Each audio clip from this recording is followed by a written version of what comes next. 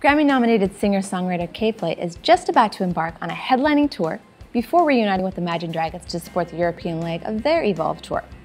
Before all that got going, she stopped by our studio to chat about how a show is like a date and how she built a set list for this tour.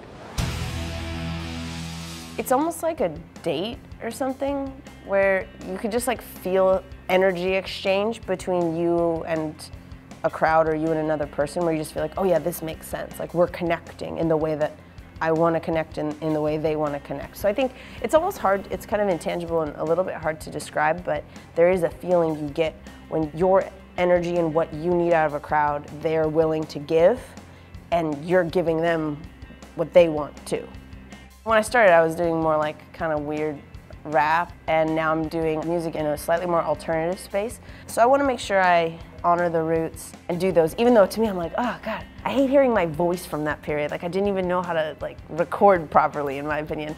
So it's about balancing the old and the new. And then, you know, the other thing is just creating, like I was sort of conceptualizing this as having like four different acts, sort of putting people in different moods throughout the set, and then of course ending with a lot of energy and a lot of spirit and a lot of passion. So it's balance in all ways. Get dates and details for this tour on kflay.com. Some shows are already sold out. Happy New Year. See you at the show. For more exclusive interviews and news on top tours, subscribe to our channel and follow us on Facebook, Twitter, and Instagram. All the links are in the description.